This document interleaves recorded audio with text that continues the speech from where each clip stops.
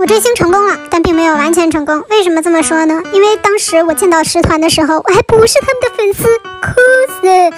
那是一个阳光明媚的午后，我被安排去某个观影团现场，检票的时候就隐约听说有时代少年团将要入场，而当时的我，心中毫无波澜，甚至想找个地方休息一会儿。我知道了，别骂了，我也很后悔。其实当时知道十团，也知道比较火，但我完全没有想到我会入坑啊！由于十团的影响力，还是要拍一些素材回去交差的。我在台下望着上面，黑压压的一片，这都谁呀？镜头对半天才发现一个都没有对准，经高人指点，我才终于拍了一些片段。故事并没有结束。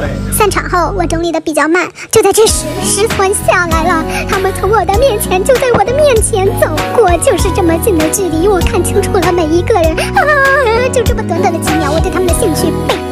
轩更深，因为他好可爱呀，就是特别单纯、好软的样子。总而言之，这都是后话了。他们走了之后，我一个人走出影厅。一边走一边在手机上搜索“时代少年团”。我跟他最接近的时候，我们之间的距离只有零点零一公分。我对他一无所知。